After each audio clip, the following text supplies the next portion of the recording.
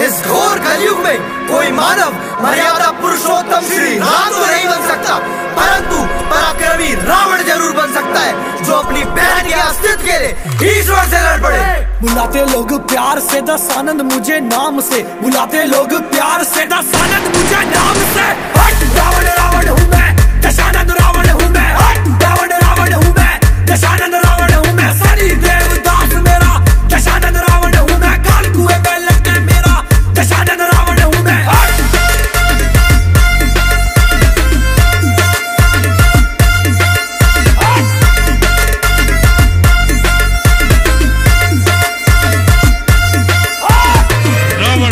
जाएगा परंतु झुकेगा नहीं।